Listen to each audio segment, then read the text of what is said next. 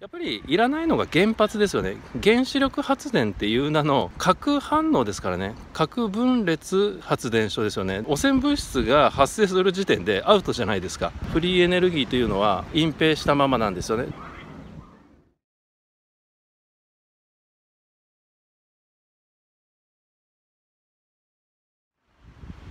皆さんこんにちは。流星です。お疲れ様です。えっと今日はねエネルギーについてちょっと話をねしていきたいと思いますね。でいずれまあホワイトボードに絵を描いてね説明をしていきたいと思うんですけどね。でちょっとまあ利権が絡んでるから支配者層的にまあ私の話はあまりよろしくない内容になる可能性があるんでまあ、バンされないようにね動画消されないように、まあ、ちょっとね暗号的な言葉遣いで話を今後もしていくつもりでいるんですよね。あと私がやりたいのは医療と食品とエネルギー問題ですね。この3つがやっぱり大きい問題だと思うんでホワイトボードでもねあのシリーズでもちょっとやっていきたいと思うんですけど。でまあ今日ちょっとね散歩がてらいろいろ考えてたんですけどね。で今日はまあエネルギーですね。エネルギーについてねちょっとね23話をねしていきたいと思いますね。あその前に社会秩序の変容というのがありますね。なんか今2020年から例のあれですよ。567とかね。まあいろんな問題がそれまでにも山積みであるんですけど社会秩序を変更してきてるっていうのがありますよね。全体主義じゃないですか。世界中同じことをしてますよね。同じことを政府が言って同じことをやらされてますよね。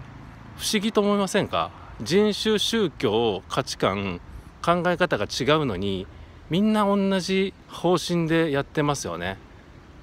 まあ変異してるものがあるとかなんか言ってましたけどね。うん。まああれも本当に子供騙しだと思いますよ。うん。まあこれで気づけない人はまあ一生奴隷だと思いますよ、うん、この社会変容のね急激な変更ね。まあ今までもあったと思いますよ。2000年代でもそうしかり。2010年代 SNS もしかりね。便利なツールを与えて一見便利に思わせておいて実は監視管理するためのものだったとかね。まあ1900年代も20世紀も21世紀も同じことが言えるんですけどね。でそれがまあここ近年めちゃくちゃきつくなってきたっていうことでまあみんな同じことをしなきゃいけないっていうのが人権侵害にまあ当たると思いますよ。で日本国憲法に反しますから、まあ、法律はさすがに作らないんですけどね、まあ、罰則を作るとかねそういうことを言ってる政治家もいましたけどね。でまあエネルギーですけど大きく分けたら電気とまあ、ガスあと自然のソーラーとか風力発電に分かれると思うんですけどでやっぱりいらないのが原発ですよね。原子力発電っていう名の核反応ですからね。核発電所ですよね。まあこれ以上言うとちょっとまずいと思うんですけど原子力を平和利用するって言ってね60年代からスタートしてるんですけどねプロパガンダでね。だって放射能を作るんで汚染物質が発生する時点でアウトじゃないですか。効率はいいとはいえね火力発電所と比べるとね。でまああと核を製造してるので核武装をするために原発を開発したんじゃないかっていう説もまああるんですよね、まあ、あんまり言うとちょっとまずいとは思うんですけどね。福島でも放射能漏れしてますしまあ小さい事故だったらいっぱいありますからね。チェルノブイリほどはならないにしてもね。で原子力発電所という名の核分裂ですね。核分裂発電所ですよね。で発電所っていう名の核を製造してることがまあ目的なんじゃないかっていう人が多数の学者が言ってますからね。指摘してますからね。プルトニウムができるんでね。プルトニウムを作るウランで核反応して核分裂反応してプルトニウムができるっていうね。であとは火力発電ですよね。石炭と天然ガスと石油を燃やしてタービンっていう、まあ、ボイラーみたいなものがあるんですけどね。歯車羽車があってそれを水を炊いたら水蒸気になりますよね。で水蒸気で羽車を回して発電をするんですけどね、まあ、原子力も同じなんですけどね。あと原子力ってウラン鉱石を掘るために切削機で結局ディーゼルエンジンとかエンジンでモーターを回して切削するわけでしょ。だから結局石油使ってるじゃんっていう理屈もあるんですけどね。これは名古屋大学の武田教授が指摘してましたけどね。まあ資源の一番詳しい研究者科学者の一人ですよね。武田邦彦教授ね。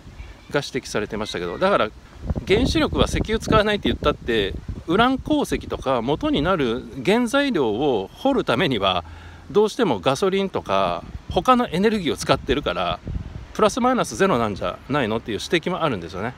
で火力発電に話を戻すと天然ガスと石油と石炭で燃やして蒸気タービンを回すっていうことで発電をしてますということですね。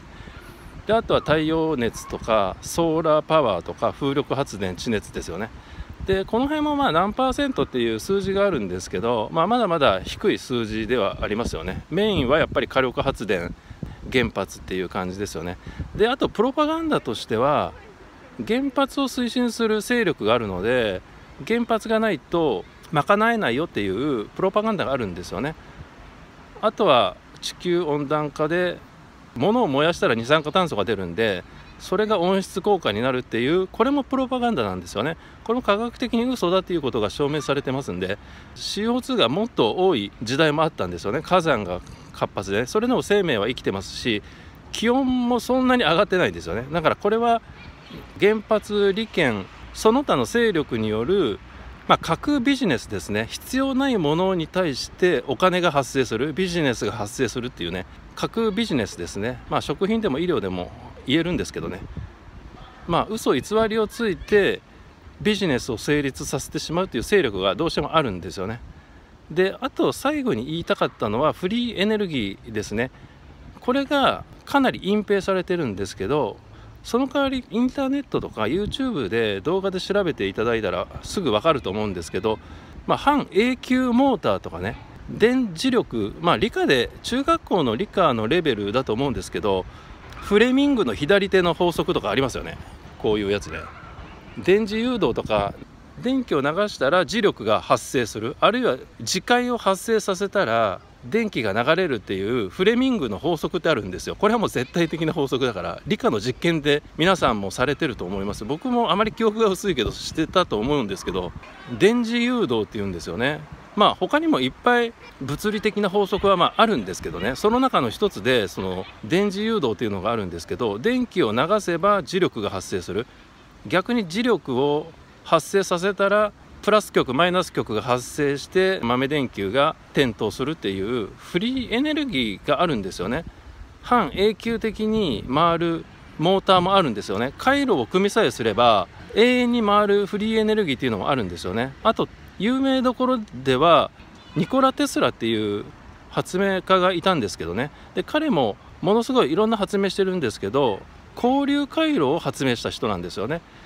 100ボルトでご家庭に流れてる電圧電流ありますよね。あれは交流回路でニコラ・テスラ氏が作ったものなんですよね。発明したものなんですよね。であと彼はテスラタワーっていうのを建設して実験段階ですけど100年前にやってたんですよ。今から100年前にそういう技術が発明されて存在してたんですよね。ですけどそれを発明してしまうと例の石油利権とかね石炭とか、まあ、火力発電所とかね他の利権エネルギー利権を害するので途中で取りやめになったらしいんですよね。で JP モルガンっていうまあ我々の中では有名なんですけど資産家がいましてねその人がお金を寄付して開発してたんですよね。資産家がね。莫大な費用がいりますからね。ですけどやっぱりその他のエネルギー利権に負けて途中で断念したらしいんですよね。予算を組むのをもうストップしてやむを得ずニコラ・テスラの実験棟はおじゃんになったんですよね。っていうようなやっぱり立憲ですよね最終的には。私がいつも言ってる金融資本主義社会で儲かる儲からないが基準になってるので科学的に優れたものがあっても隠蔽されるんですよね。支配者に都合が良ければ採用される。都合が悪ければ、まあ、石油利権の方が都合がいいので金になるのでフリーエネルギーというのは隠蔽したままなんですよね。で僕が思ってるのは隠蔽はするけど我々庶民には教えてくれないんですけどディープステートとかいわゆる軍産複合体いますよね。軍産複合体が研究開発をしてて今とんでもない技術に発展してるんじゃないかなっていうのが僕は想像してますけどね。要はねニコラ・テスラのフリーエネルギー何がすごいかって言ったら遠隔で電源を供給できる技術理論システムなんですよね。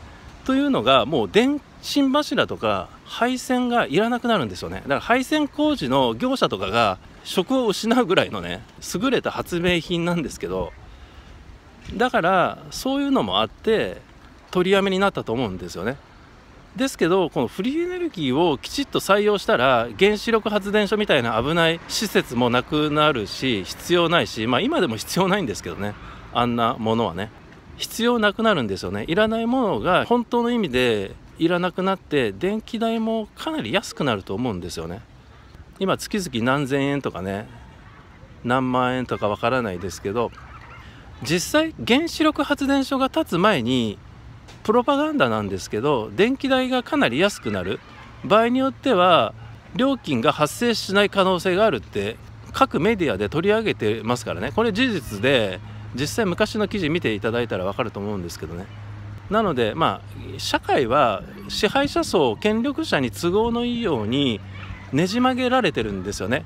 科学もへったくれもないんですよね。お金が儲かるか儲からないが基準になってるんで全てはお金が儲かるか儲からないかで科学的に根拠がなくてもそれを押すんですよね。でメディアにお金を払ってますんでメディアは権力者に買収されてるんで政治家とメディアは広報機関なんですよね。だから騙されちゃいけないというのはそこにあるんですよね。だから原子力発電所がいい例ですね。あと地球温暖化っていう嘘をついて原発が必要ですよ。何それが必要ですよっていう嘘をついてその何それビジネスで大儲けをしてます。今もね。で無駄な税金も払ってますからね。だからニコラ・テスラのようなフリーエネルギーを採用したら無駄な税金を払わなくて済むし無駄な料金を払う必要がなくなるんですけどね。というところでまあ終わりたいと思います。ご視聴ありがとうございました。チャンネル登録よろしくお願いします。バイバーイ。